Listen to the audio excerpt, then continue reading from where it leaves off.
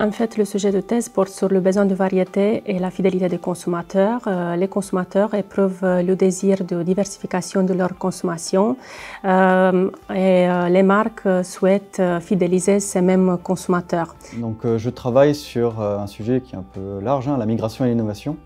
Et plus particulièrement, moi, je m'intéresse à analyser la productivité des inventeurs migrants dans le pays de destination ainsi que dans le pays d'origine et à comparer leur productivité avec les natifs. Je m'intéresse à l'insertion professionnelle des jeunes adultes dans les pays en développement. Euh, c'est un sujet euh, assez traité dans les pays euh, qu'on appelle développés, mais moins traité dans ces pays-là, donc je m'y intéresse particulièrement. Je travaille sur la question des effets des taux d'intérêt négatifs sur le comportement des banques. Donc l'objet de ma thèse, c'est de regarder par quel canal ces taux d'intérêt peuvent, dans un premier temps, impacter le comportement des banques et in fine euh, les agents économiques. Mes recherches euh, apporteront euh, potentiellement un supplément dans la compétitivité de toute organisation en situation concurrentielle.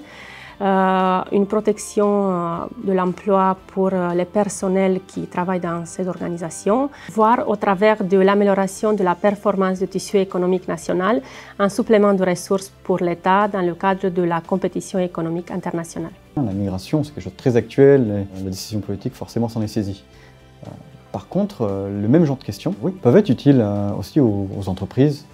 juste un exemple, on a trouvé que la mobilité avait un impact positif sur la productivité. Donc certaines entreprises pourraient reprendre ces résultats-là et inciter leurs, euh, travailleurs, hein, leurs salariés, à bouger un peu plus. Euh, le but euh, principal, c'est de prouver que les jeunes sont une ressource, puisque je m'intéresse aux jeunes adultes, et pour ces pays-là en particulier, c'est une ressource intéressante à mobiliser, alors que pour l'instant, c'est plutôt une catégorie de population qui est laissée derrière dans le monde du travail.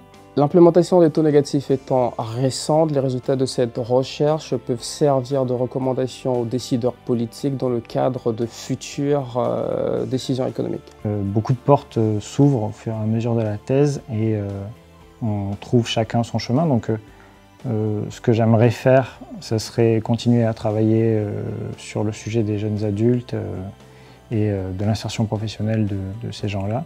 Au terme de, ma thèse, je souhaiterais éventuellement intégrer une institution internationale type FMI euh, ou une banque centrale afin de poursuivre la recherche que j'aurais euh, entamée depuis le début de ma thèse. Pour la suite, euh, je souhaite poursuivre dans une carrière d'enseignant-chercheur en marketing. J'ai quelques pistes de postdoc, hein, ce sera essentiellement un postdoctorat, pour moi plutôt à l'étranger, pour continuer un peu à apprendre et voir ce qui se fait aussi ailleurs.